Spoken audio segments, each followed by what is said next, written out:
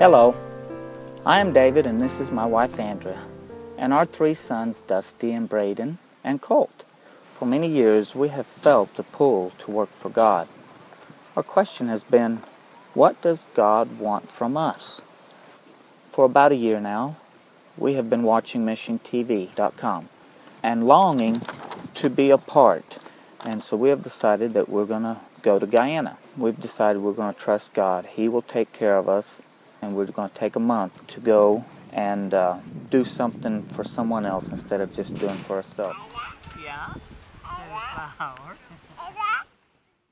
My heart wasn't ready to let go. I had so many plans. I had dreams that were just within my reach. All I was thinking about was myself. I told the Lord to give me a sure sign that He wanted us to go to the mission field. Within 24 hours, my prayer was answered firmly. 48 hours after that, we were accepted by David Gates' Gospel Ministries International. They had a country they wanted us to help out in. We have not turned back or questioned God since. We have been asked to go to Saparuta, Guyana, South America to help at a Saparuta Mission Academy. The school's mission is to equip students spiritually, mentally, and physically with the heart and hand service required by our Lord and Savior Jesus Christ, in order that they may be economic, social, and spiritual leaders in the global community, winning souls to His kingdom.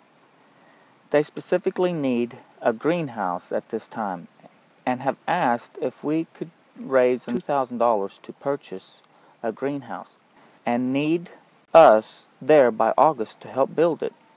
This may seem to be a small job, but for a family without any previous mission experience, this will be a perfect job for us. I'll answer, dear Lord, with my hand in thine. I'll go where you want me to go. If you would like to help sponsor this trip, uh, you can contact the pastor or myself. Feel free to contact each, any one of us. Uh, we know that not all of us can just drop everything, just drop our lives, what we're doing, and, and go up and leave, but uh, we can all have a special part in helping, whether it's by prayer, helping financially, or uh, anything would be appreciated. Thank you.